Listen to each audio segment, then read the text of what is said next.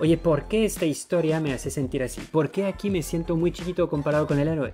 ¿Por qué siento que este personaje está en peligro? Esto es el papel de la cinematografía, el arte de provocar emociones con imágenes. Para integrar este elemento a tu proceso creativo, te comparto dos técnicas indispensables. Primero, el staging, donde van a estar los personajes en mi escena. Esto es lo primero que tenemos que hacer. Por ejemplo, si dos adultos están parados enfrente de niños sentados, los adultos tienen el poder.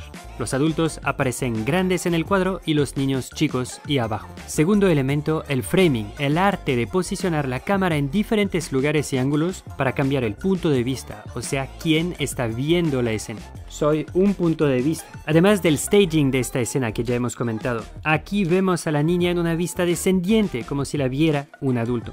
Este tipo de tiros de cámara se llama una picada o downshot en oposición al upshot que enaltece a un personaje.